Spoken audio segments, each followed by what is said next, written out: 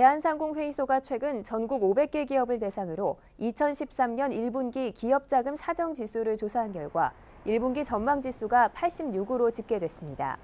이는 지난 분기와 동일한 수치로 2011년 2분기 이후 7분기 연속 기준치를 하회하고 있는 것입니다. 대한상공회의소는 정부에서 신용보증 지원을 강화하고 있지만 수출 기업의 경쟁력 약화, 가계 부채 증가 등으로 기업들의 자금난은 해소되기 어려울 것이라고 전망했습니다. 기업 자금 사정 지수는 기업의 자금 흐름을 수치화한 것으로 100을 넘으면 해당 분기의 자금 사정이 나아질 것으로 예상하는 기업이 더 많다는 것을 뜻하며 100 미만이면 그 반대입니다.